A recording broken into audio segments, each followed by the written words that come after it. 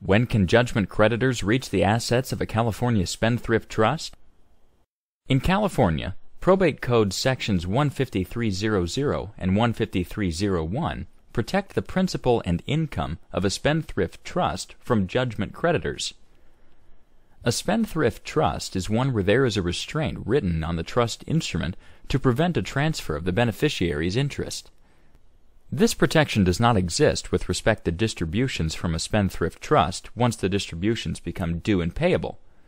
It also does not exist with respect to support orders for spousal or child support that exist against the beneficiary of the trust.